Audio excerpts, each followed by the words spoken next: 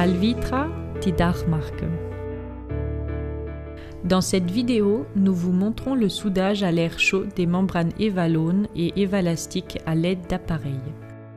Une fois que la membrane déjà posée a été fixée mécaniquement en partie courante, le lait à relier peut être mis en place. Les marquages en lisière peuvent servir de guidage. Il se trouve à environ 5 cm du bord pour la pose en adhérence et en indépendance sous lestage et à environ 11 et 12 cm pour la fixation mécanique avec des plaquettes ou des rondelles de répartition. Dans notre cas, nous suivons la ligne continue à 11 cm du bord. Notre conseil de professionnel. Pour la réalisation de joints transversaux visuellement parfaits, nous conseillons d'arrondir les extrémités de la membrane.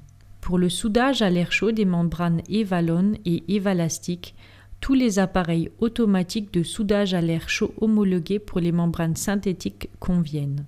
Ces appareils de soudage à l'air chaud permettent de réaliser de 2,5 à 3,5 mètres de soudure par minute. La température doit être comprise entre 470 et 570 degrés la vitesse d'avancement, le débit d'air et la température de l'air chaud doivent être réglés en fonction de la température ambiante et de la température du support. Le soudage à l'air chaud est possible sans préchauffage du matériau à une température ambiante d'environ 5 degrés.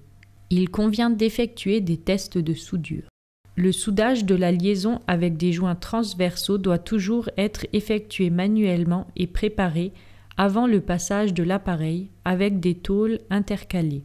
Voir également notre vidéo sur la réalisation des joints transversaux et des joints hantés. Procédez enfin à un contrôle de la soudure sur toute sa longueur. Celui-ci s'effectue de façon non destructive en déplaçant l'aiguille de contrôle des soudures Alvitra le long de la jonction.